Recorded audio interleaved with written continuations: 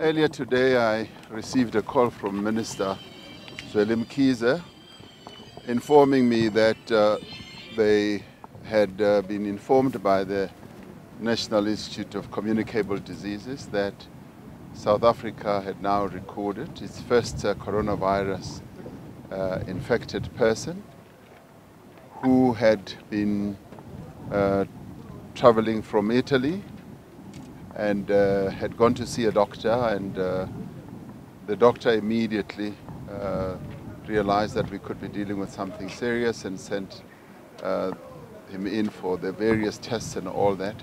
So it's now been confirmed that uh, we have a, a person within our country who has tested positive to coronavirus. I uh, would like to applaud the capability of the NICD for having acted very quickly and swiftly and also having informed the minister who immediately informed me. I informed him that he should go ahead and uh, make the news public in Parliament so that South Africans are immediately informed so as to avoid fake news spreading around the country and also to have a level of transparency about uh, this uh, virus that is spreading around the world. We're not the only country that is affected. Many more countries have been affected, and it looks like it will keep on spreading to a number of uh, countries in the world. The key question uh, is whether we are ready and prepared. And just this morning, I was quite impressed with the level of uh, preparedness in terms of being able to identify what it is and uh, immediately having the person isolated. So we, we are gearing up more and more as a country and uh, the report I've received from the Minister of Health has uh, demonstrated to me that we, we can be more alert and we can go to higher levels of being alert. And obviously we did this in terms of uh, revealing this immediately so that there should not be panic. South Africans should not panic.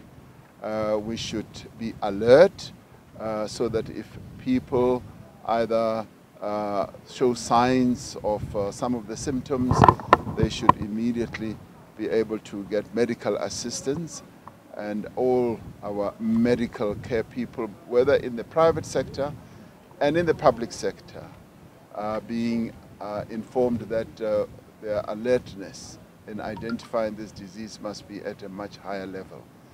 So we should, as South Africans, uh, be rest assured that government will demonstrate its uh, seriousness in terms of dealing with this matter and we will continue to be transparent. Uh, and at the same time, we want South Africans not to panic because uh, we, we will continue uh, to ensure that uh, we handle this matter with the necessary care and capability that uh, it, it requires. And what we would ordinarily do with a situation like this, to be immediately in touch with the World Health Organization.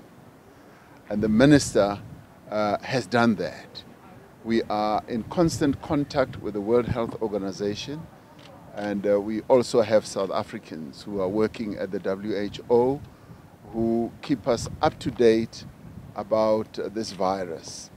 So the help that we would need to get would in the first instance as a country come from the World Health Organization.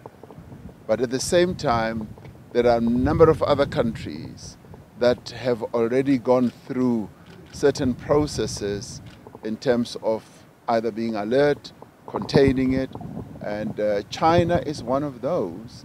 They have been able, having had the bulk of the people who are uh, who have been affected, they've been able to show ability to contain it, and uh, we wish them luck uh, in carrying on with that. So we will also be in touch with a number of other experts around the world, and we are just at the beginning of this but we have uh, been in constant contact with the World Health Organization.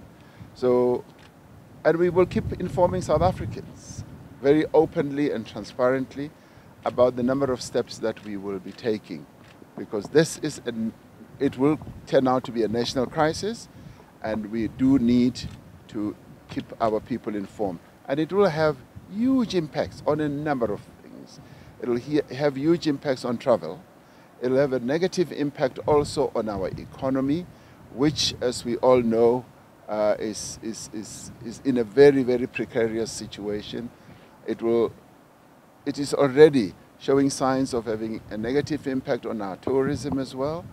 Uh, internal travel, uh, people are already making other arrangements and people uh, I met this morning were saying that you know flights to South Africa were already showing signs of uh, more seats being available uh, when ordinarily they, they didn't show that. So the effect is going to be big and South Africans need to be prepared. Uh, but more prepared for ourselves, being alert, and there are quite a number of things I'm told we have to do. Uh, wash our hands continuously and uh, make sure that uh, we, we, we, we keep on doing things like that. So thank you very much.